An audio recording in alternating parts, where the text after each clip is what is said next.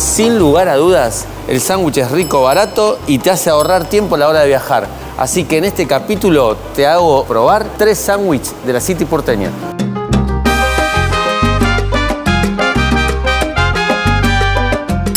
La ciudad de Buenos Aires posee un sistema de transporte impresionante, una red SUBE. Esta red SUBE comprende esta tarjeta que la pueden comprar en cualquier kiosco, colectivos, subtes trenes. En esta ocasión, desde Plaza Italia, vamos a ir al centro porteño para que pruebes los tres sándwiches tradicionales de la City porteña. Para llegar al centro porteño tenemos que tomar el subte con dirección a Catedral. Desde ahí bajamos y hacemos unos pasos y estamos en la primera parada, Paulín. Ellos se declaran como el mejor sándwich de Buenos Aires y en las redes ellos son muy famosos por los sándwiches voladores. Tradición de sándwiches en Buenos Aires en Café Paulín. Tortilla especial.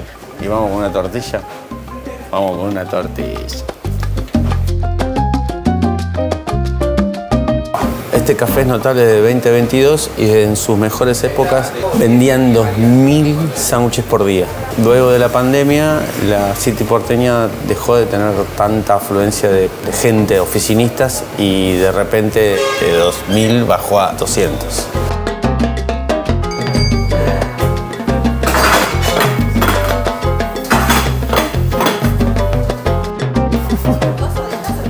¡Fua! Sí, miren lo que es esto.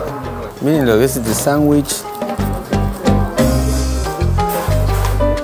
Así, ¿eh? Tiene cantimpalo, cebolla caramelizada, rúcula y una tortilla que no saben lo que es. Esto es una bomba.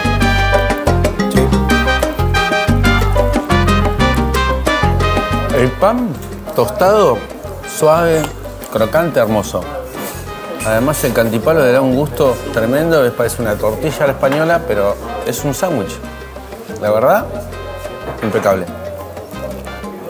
Terminamos en Paulín, que la altura es 635 de Sarmiento. De acá nos vamos a Paraná 321, al Dado. Segunda parada, Bardado. Si sos abogado o estás por la zona de tribunales, tenés que conocer este bar. Si no sos abogado, también tenés que conocerlo. Lo interesante de este lugar es que el famoso sándwich de lomito se sirve acá, en el bar dado.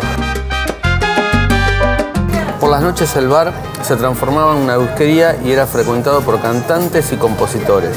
Era un clásico encontrarse en la barra a Osvaldo Pugliese, Roberto Goyeneche, Aníbal Troilo, Cacho Castaña, entre otros.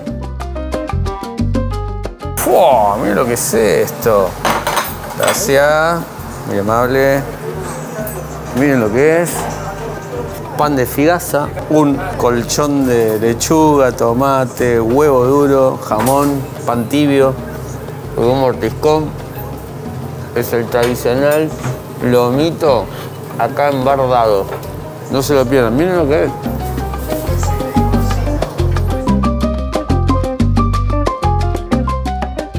Amigos seguidores de Sommelier en Bicicleta, terminamos de comer un gran lomito acá en el Bar Dado. Desde acá nos vamos al buen libro a comer un sándwich de milanesa y a ver, y ahí terminamos la recorrida de los sándwiches y vayan comentando a ver qué les pareció este lugar.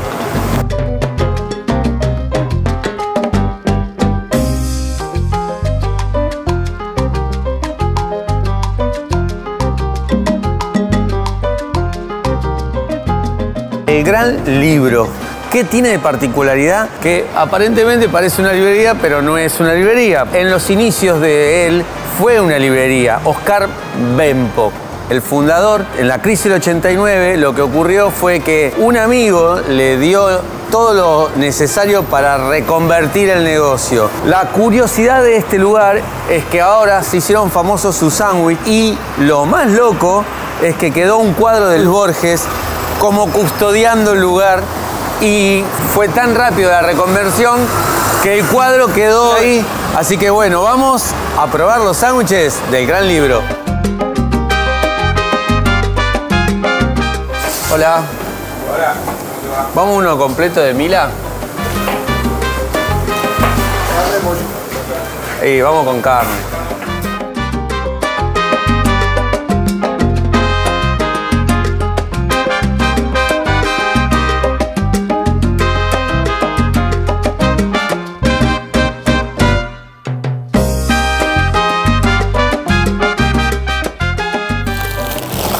Ahora a descubrir el sándwich, el buen libro. Miren lo que es. Es un gran mordiscón de una milanesa completa acá en Buenos Aires.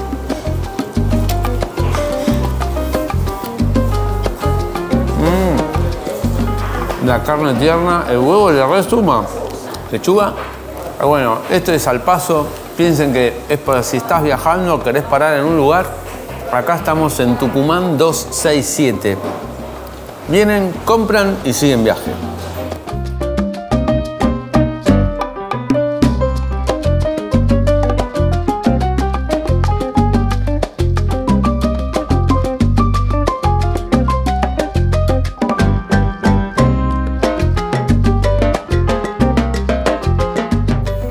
Ten en cuenta que puedes armar tu propio sándwich de lo que quieras. Además, si no tenés ganas de comer un sándwich, también hay empanadas y tartas.